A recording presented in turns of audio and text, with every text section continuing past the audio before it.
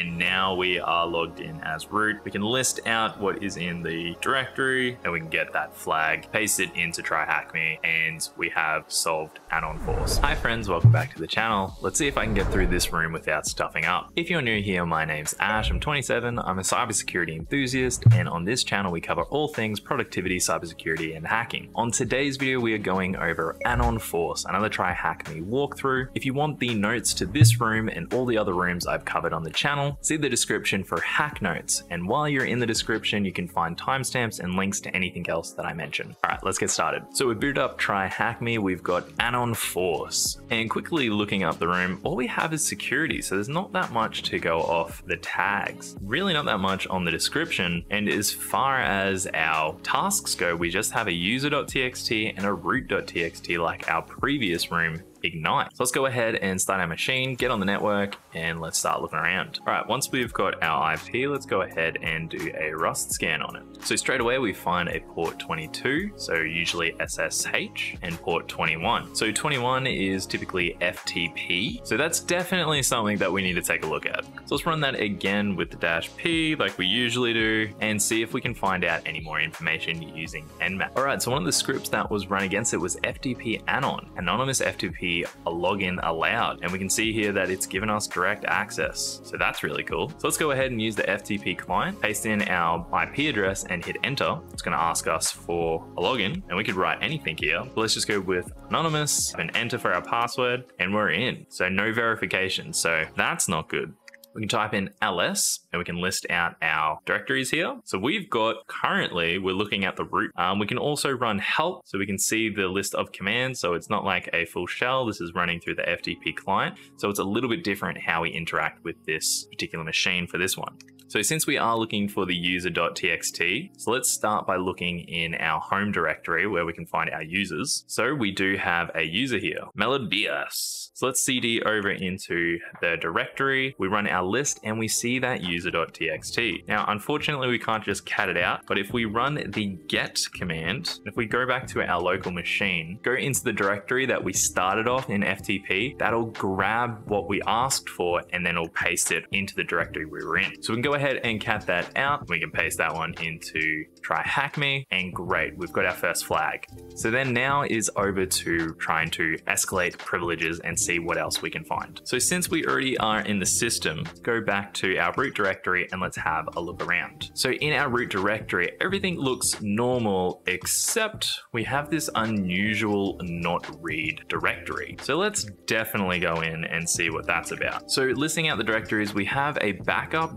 backup.pgp and a private.asc. So let's go mget for multiple get and let's get both of those files at the same time. Yes, please get both of them. Now, if we go back to the directory on our local machine, we've got our two files. Let's look up what the heck a PGP file is. So PGP stands for Pretty Good Privacy and is an encryption program that provides cryptography, privacy, and authentication for data communication. So it's used for signing, encrypting, and decrypting text, emails, files, directories, and to increase the security of email communications. Alrighty, so we have a little idea of what we're after now. So can we just cat out the context? Well, no, because it's encrypted, so we can't see inside of it. So then what about this private? Well, if we read this, we can cat it out and it looks like it's some sort of PGP private key block. So maybe this is similar to like an RSA key that we can use for like SSH verification. Perhaps we can use this private key to unlock this file. So it turns out that there is a GPG built into our Kali distro.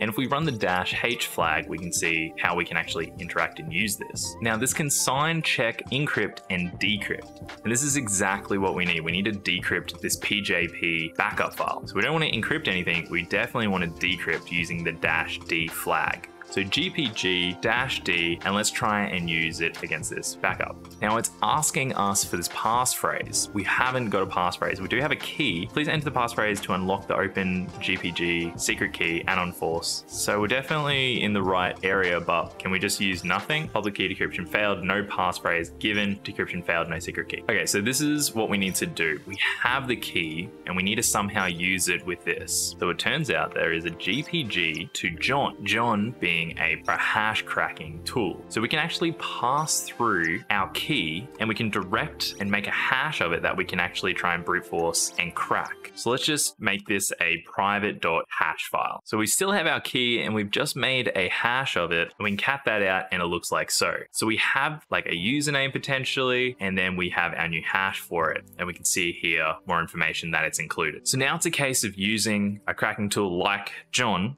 passing in our word list, which in this case we can use the infamous rocku.txt, and we just want to pass through our hash file like so. So you'll be seeing the result of the hash. I ha already have it. So the last thing that we need to do, we can now go back and we can indeed decrypt it using the password that we cracked. All right, now this looks like an Etsy password file that we've been given. And if we scroll all the way to the top, we see our root user and we have the hash of the root user. So we want to highlight it all the way to the colon. I'm going to make a root.hash file, paste in the hash in its entirety, save that, and we're just going to pass it straight through Hashcat and see what we get. So it looks like it's detected it's using SHA-512 you, and that's the code 1800. So let's run that with the dash M 1800 and this time run with the word list again with rocku. And once it exhausts the list, you will see the root password. So now we can go ahead and log in as root. We can paste in the password and now we are logged in as root. We can list out what is in the directory and we can get that flag, paste it into TryHackMe and we have solved Anon Force. Ooh, awesome. Well, I hope you enjoyed this room. This was definitely a very fun room. It was good to learn a bit more about different types of encryption and how we can go about cracking them.